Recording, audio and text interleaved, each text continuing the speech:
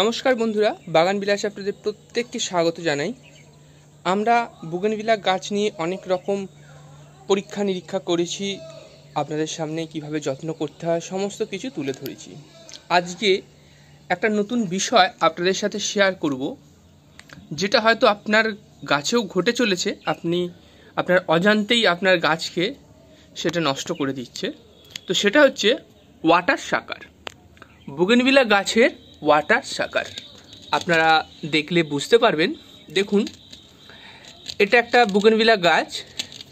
এটা Chinese sleeping beauty তো দেখুন, এই গাছটা খুব সুন্দর ফ্লাওয়ারিং করেছে। এর আগেও আপনারা দেখেছেন, খুব সুন্দর ফ্লাওয়ারিং করেছে। কিন্তু এখন দেখুন ফ্লাওয়ারিং একদম নেই।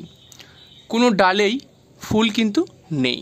দেখুন, এর কারণ হচ্ছে, দেখুন, একেবারে গোড়ার অংশ থেকে একটা অতিরিক্ত বৃদ্ধিপ্রাপ্ত ডাল, দেখুন। এর পর্বমধ্যগুলো কত বড় বড়, দেখুন গ্যাপগুলো, কত বড় বড়। এবং এর গ্রোথ রেট খুব বেশি। একেবারে কদিনের মধ্যেই এই এত বড় হয়ে গেছে।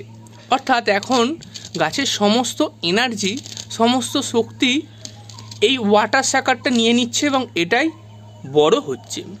আস্তে আস্তে এই অংশের যে ব্রাঞ্চগুলো আছে, এদের খাবারের যোগান কমে যাবে এবং এরা ধীরে ধীরে অনেক সময় ড্রাই ব্যাকে চলে যায়।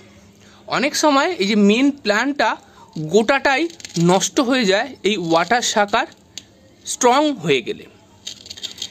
দেখুন, এখান থেকে বেরিয়েছে দেখতে পাচ্ছেন, এইটাই আস্তে আস্তে মেন অংশ হয়ে যাবে।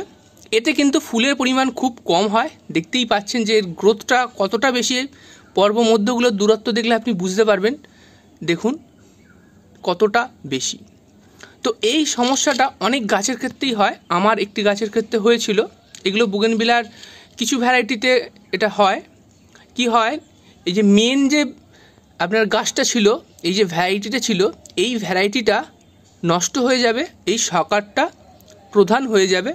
এতে খুব কম, খুব নিম্নমানের ফুল আসে। অনেক সময় ফুল হলেও খুব নিম্নমানের ফুল হয়।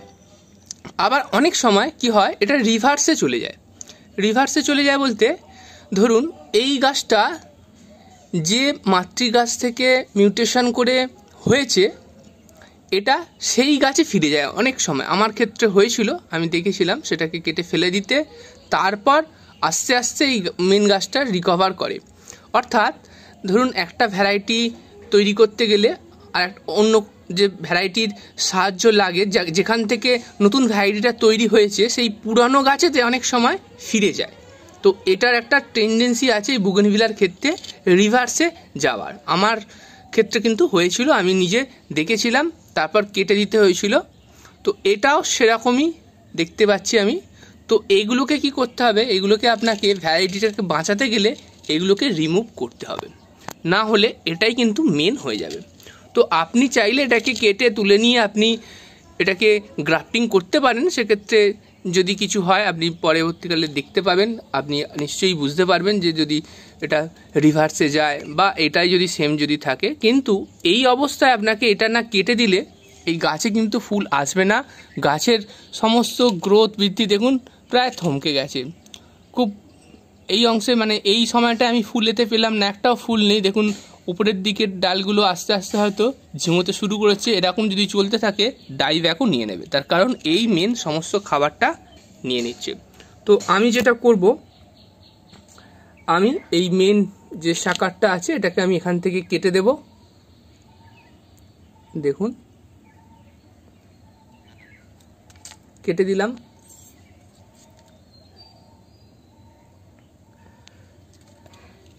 এখান থেকে আরেকটা বের হচ্ছে, আমি এটাও কেটে দিলাম।